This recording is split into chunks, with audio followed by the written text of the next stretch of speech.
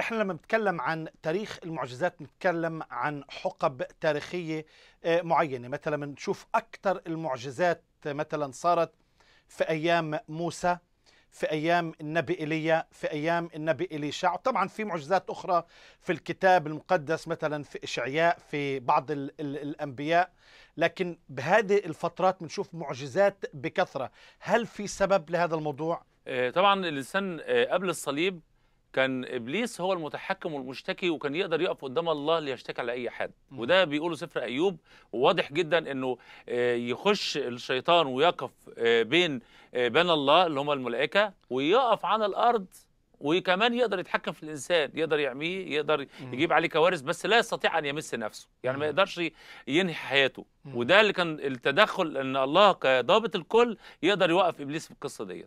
لكن ال- الفكرة نفسها بعد الصليب رجعت كل صلاحيات الإنسان الأول آدم اللي هي الصورة الإلهية المجيدة إن يرجع آدم مرة تانية على صورة الله ومثاله. وده المجد اللي إحنا عايشينه كشركاء للطبيعة الإلهية.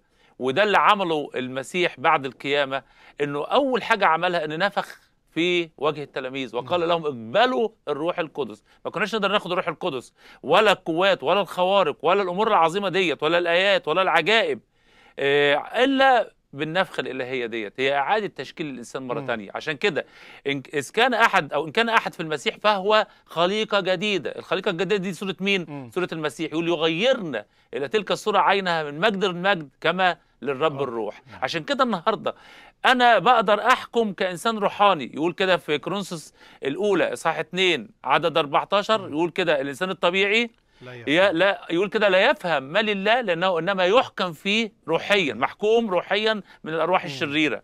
طب ده اللي مش في المسيح. طب اللي في المسيح بقى؟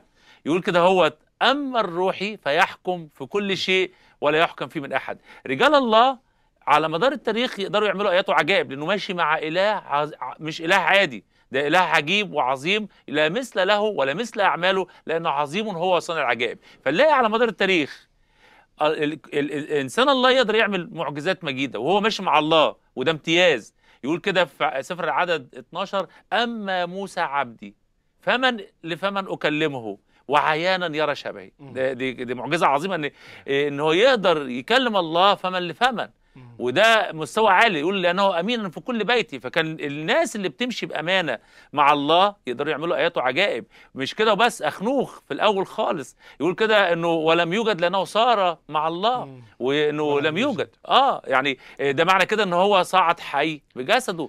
وعندنا آيات يعني مثلا التدخل الإلهي تدخل إعجازي ما يقدرش يعمله الإنسان رغم إن أنا بعترض شوية على كلمة معجزة لأن مفهومها الشرق أوسطي أو الإسلامي صعب شوية. إحنا عندنا في الكتاب المقدس يتقال كلمة عجيبة أو أو عجائب يتقال كلمة آيات آية أو يتقال صنع قوات. لكن كلمة معجزة لأنه في في المفهوم الإسلامي آه، كلمة فيها تعجيز للإنسان. تعجيز للانسان يعني إيه؟ كأنه الله اللي بيتحدى الإنسان وبيعجز الإنسان يستوعبها ولا؟ آه طبعا آيات التحدي دي كتير جدا. في الآخر لكن- خالص إن الله تدخله إنه يعجز الإنسان مش علشان يحل له مشكلة. لكن أنا فهم للاعجاز إنه شيء خارق اللي بيتحدى ناموس الطبيعة. آه، المفهوم في الكتاب المقدس إن ما- ما ذك- ما ذكرش ولا مرة كلمة معجزة إلا مرة واحدة في سفر أيوب. ودي اللي قالها إلياهو وده واحد من أصدقاء أيوب مش أيوب ولا الروح القدس. واتقالت بكل بساطة الآية بتقول إن المعجزات يعني الحاجات اللي اللي الله يقدر يعملها اللي بيعجز بها الإنسان بس ده مفهوم بشري. ده مش مفهوم إلهي عن الكلمة نفسها. الترجمة بتاعتها برضك مش دقيقة قوي.